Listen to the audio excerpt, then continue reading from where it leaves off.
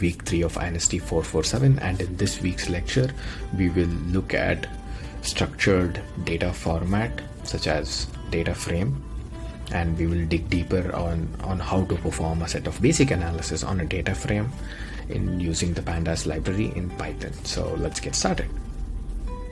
From previous lecture you already know by now that data can be either in a structured format or in an unstructured format and structured format data usually is in the form of a CSV file, an Excel file, a SQL database or a JSON file whereas an unstructured file or data is in the format such as images, web pages, etc.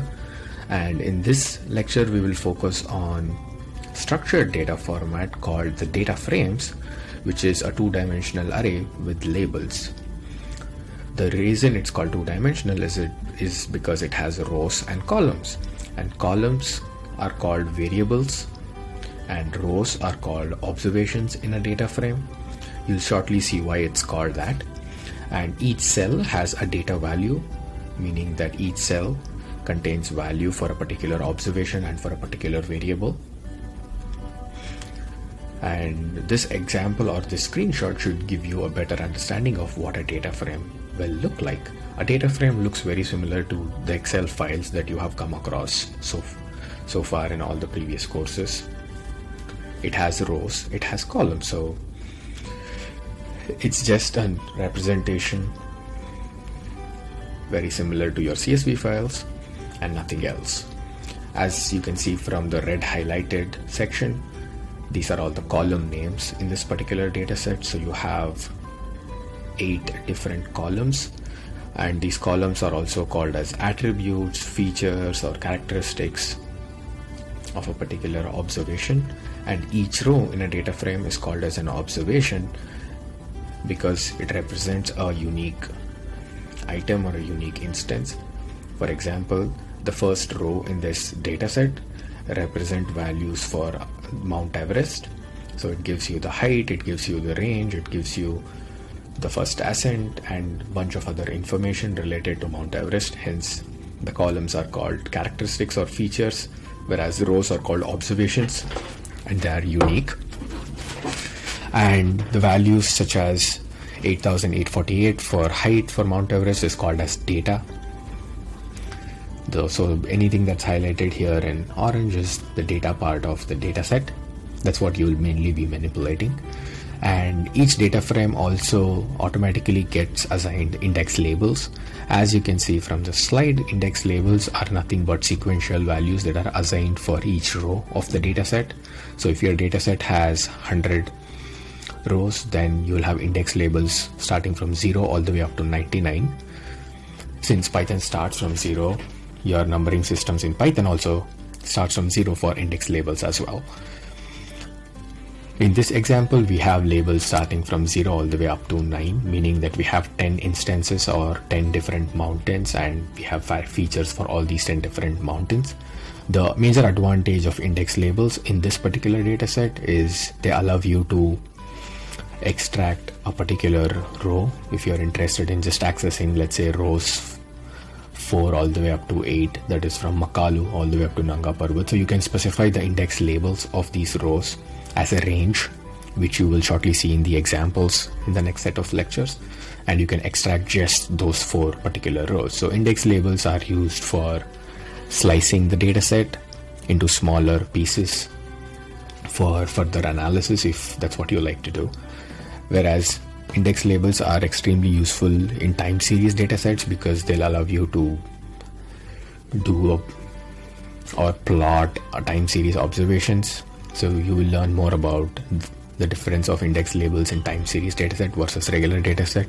Just know that in regular dataset, index labels are used just to extract a specific row or set of rows. All right. And now that you know how a data frame looks like, we need to next learn how to create a data frame so that you can manipulate and provide any sort of useful analysis. The first way to create a data frame is to read from a file. So for instance, you have a CSV file or an Excel file given to you by your client or you get it from the web, etc. and you can read the CSV file using the read underscore CSV function that the pandas library provides. Make sure you import the pandas library before you run the function. So in the first step there, I have imported the pandas library as PD. And in the next step, I create a variable called df. And to this df variable, I will apply the read CSV function. And to the read CSV function, I'll paste the path of the file within a pair of single quotes or double quotes so that I can read it correctly. And once you import the data or import the CSV file this way, you can then perform a bunch of analysis on it. And another way to do or create a data frame is using the dictionary object. So you already know that dictionary has key value pairs. So the keys in dictionary will form the column names and the values will form the data part of your columns or features. So you have features and data here.